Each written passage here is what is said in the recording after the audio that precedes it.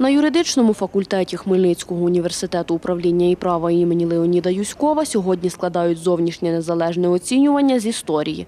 О 9.50 в приміщення починають запускати абітурієнтів, перевіряють документи та вимірюють температуру. На аудиторіях та в холі розвішані поіменні списки учасників ЗНО. В аудиторії обладнане місце для особистих речей абітурієнта, поки він складатиме тестування. Абітурієнтка Юлія говорить, до ЗНО готувалась посилено. Я ходила на курси, е, ходила до репетитора і також е, шукала в інтернеті е, цікаві, цікаву інформацію, таку, яка може бути на ЗНО. Додає, складала пробне тестування. Результати позитивні. Я думаю, що я все зможу і все здам. Абітурієнтка Евеліна говорить, ніч перед тестуванням майже не спала. Читала, дивилась, переглядала тести. Завдання ну, не дуже важкі, але й нелегкі.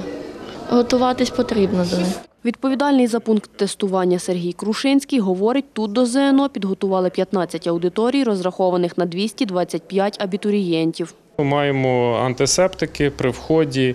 Є для медичних працівників е, щитки, є маски запасні. Якщо учасники, наприклад, не мають, то ми видаємо свої. Е, Обробка перед зовнішнім незалежним оцінюванням, обробка всієї території з застосуванням е, дезінфікуючих засобів.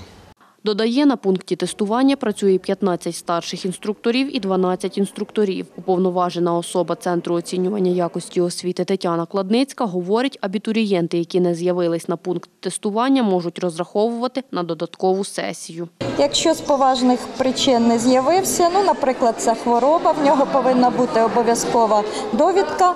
О 10.20 відповідальний за пункт тестування в присутності працівника поліції та уповноваженої з центру оцінювання якості освіти дістає контейнер з тестовими зошитами, пересвідчується в його цілісності. О 10.30 в аудиторії для нарад в присутності інструкторів та старших інструкторів розпаковує контейнер, дістає 15 пакетів з тестовими зошитами для кожної аудиторії, роздає інструкторам. Об 11 годині розпочинається ЗНО. За словами уповноваженої особи Центру оцінювання якості освіти Тетяни Кладницької, на написання тестів з історії відведено 150 хвилин. Додає, наступне ЗНО складатимуть з фізики 7 червня. Діана Колесник, Дем'ян Цегольник. Новини на Суспільному. Хмельницький.